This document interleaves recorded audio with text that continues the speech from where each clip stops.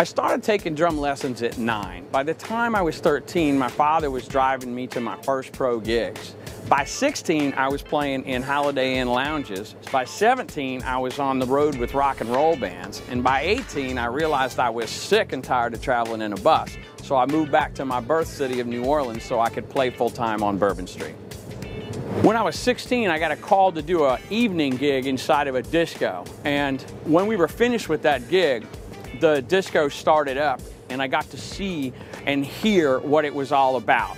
Uh, they, I remember the moment well. I, it, they were playing MacArthur Park by Donna Summer, and that is the moment that I was captivated by the whole sound and light and disco concept. But what I wanted to do was figure out a way to put live music into that too. And that is the moment the Village Door concept was born. One day in New Orleans, representatives from Sandestin came in to see me and asked us about coming over here and putting our club right here on the Sandestin Resort. And since I knew and loved this area so much, I said yes almost immediately. Once we got here, of course, you know, we, we built the building and opened the village, and it, it was a great experience.